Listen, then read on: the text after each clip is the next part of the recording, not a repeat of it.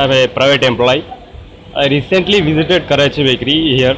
It's a newly launched Karachi Bakery. I took one veg burger and pizzas. It's good.